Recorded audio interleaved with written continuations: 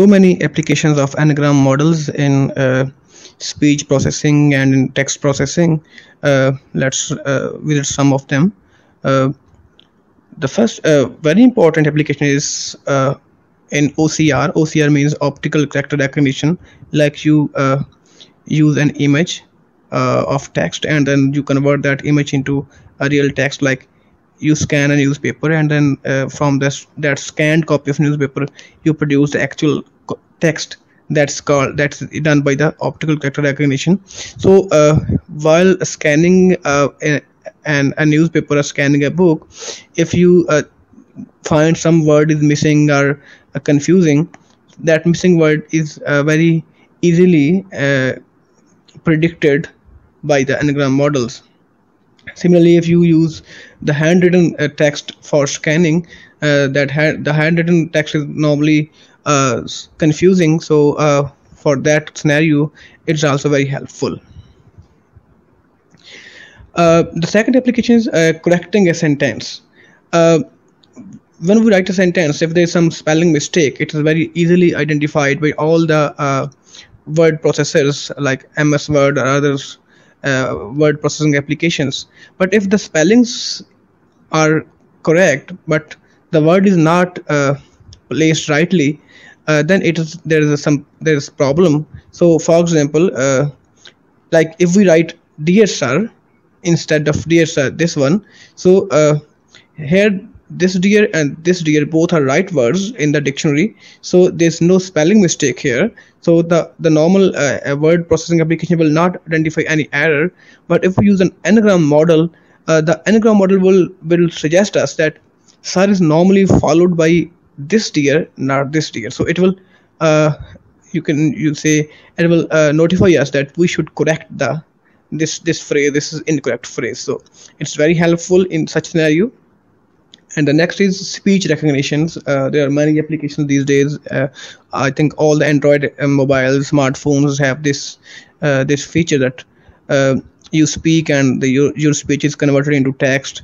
And there are many apps which uh, which can even google offers speech recognition uh, feature in, in, in search. So you can use uh, this n-gram model in speech recognition, recognition as well. So because there are many words in english and i think in, all the languages that have the same sound but actually they are very different. For instance uh, we have the word i and i. So these have say, almost same sound but but they, they have quite different meanings. So with the same sound uh, you have to predict what is the right word in the sentence. This is done by the n-gram model. Like if someone says i am eating the the the speech recognition application will not write eye here but it will write this this one here because it is uh, it comes in the start of the sentence. And normally uh, m is followed by this i not this i. So from the n-gram model uh, we can easily identify the right word in the given place of the sentence where two words have same sounds. Similarly, if someone says his eye got hurt, here we will use this eye, the, the part of the body. So uh, the next application is in translation. In translation, uh, there we, we usually find many funny scenarios when we try to translate a sentence word by word for example if we translate a sentence in in national language of pakistan like he is the biggest minister then it will become he is the biggest minister of pakistan. So it's a very funny translation but whereas if we consult with n-gram model the n-gram model will suggest us that we should we should use he is the prime minister of pakistan. So apparently prime and the biggest are not much different. Uh, they they are almost synonyms but uh, the n-gram model suggests that the minister word is uh, mostly followed by the prime, not the biggest word. So we will use instead prime instead of uh, biggest. So these are few applications of uh, uh these uh, n-gram models. I think there's some also uh, another application that is suggestions while typing. So this this this scenario is um, you have observed i think all of you have observed it while typing on your mobile phones. In mobile phones when we try to type some word we uh, similar words are suggested.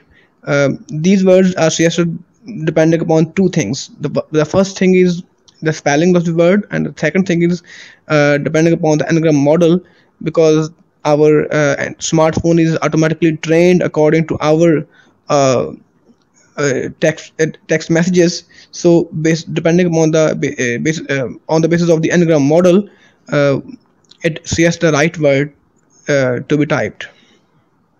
So these are few of the applications of n-gram models and there are many other applications as well. So as a whole you can say the n-gram models are very important and the, you can say the building blocks of the speech processing